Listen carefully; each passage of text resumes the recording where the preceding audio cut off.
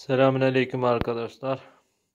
Bugünkü konumuz kasalı bilgisayara televizyona nasıl bağlarız?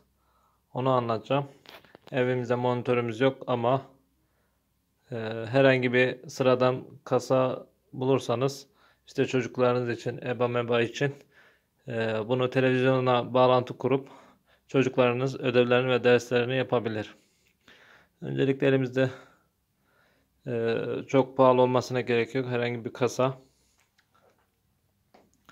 İşte bu kasamızın e, e, eğer ekran kartı yoksa Viga giriş var şurada.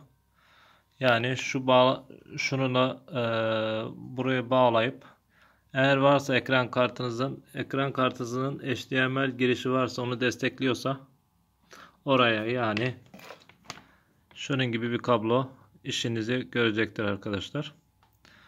Bunu ekran kartına takıp e, HDMI kabloyu diğer bir ucunu HDMI girişine tak, takın arkadaşlar. Şurada sökeyim. Şurası arkadaşlar. Burası USB girişi. Bu HDMI 1 arkadaşlar. Bundan bilgisayarınızda özür dilerim televizyonunuzda 2 veya 3 tane 1 tane olabilir. Onlar diğerleri yani televizyon modellerinden modellerine fark ediyor. Diğer arkadaşlar Vega kablosuyla şurada Vega girişi var. Ee, şurada şöyle biraz karanlık. Ee, PC Vega girişi var arkadaşlar. Bağlantıyı buraya sağlıyor. Buraya takıyoruz. Şuraya.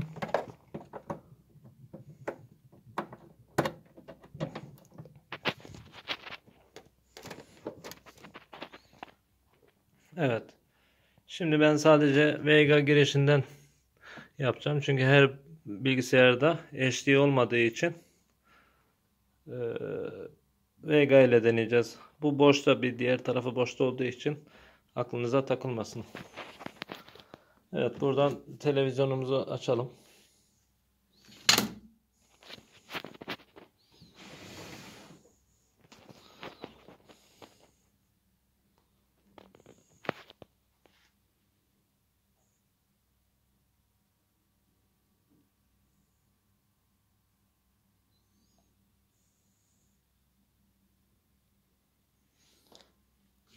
Televizyon direkt açılmadığı için eğer televizyonun direkt açık olsun. Öyle yapalım. Buradan menü tuşuna girin arkadaşlar. Kumandadan menü. Menü bölümüne girin. Görüntü ayarları. Ha, özür dilerim. Exit diyelim.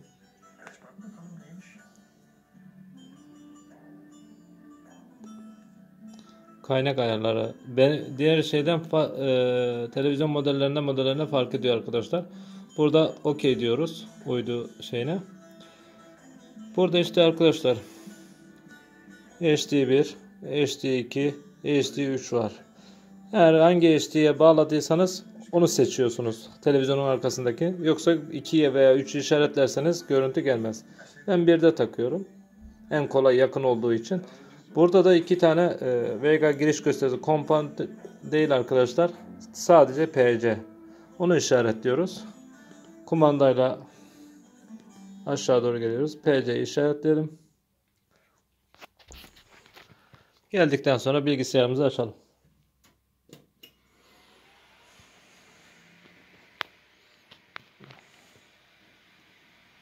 Evet.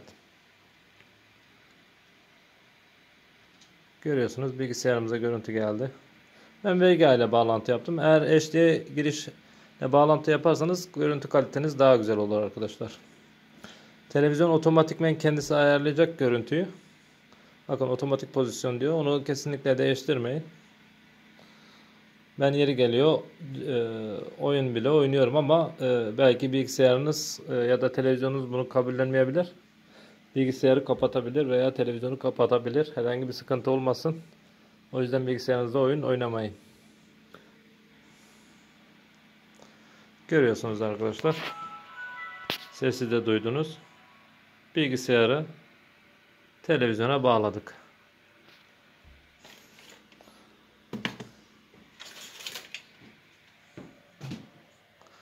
Çok yakından parlak oluyor.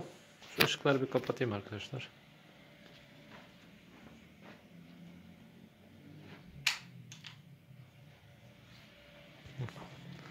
Gerçi dışarıdaki ışık da yansıma yapıyor bu şekilde.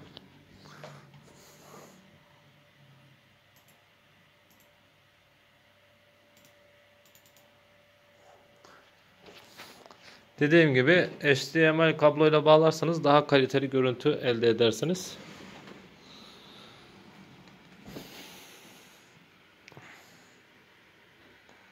Gördüğünüz gibi internete girdi arkadaşlar. Herhangi bir sıkıntı yok.